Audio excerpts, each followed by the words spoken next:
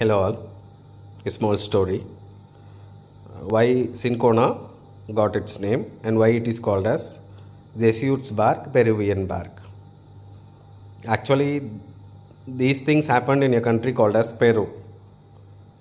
In Peru, once uh, the princess called as Sincon got a chronic fever and it didn't got cured by any medicines.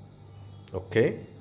At that time a physician called as jesuit gave cinchona bark to the princess called as sincon and it got cured.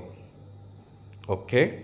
Due to which the bark of that particular plant is called as cinchona sincon plus a cinchona and since this has been found by person called as jesuit it's again called as jesuit's bar.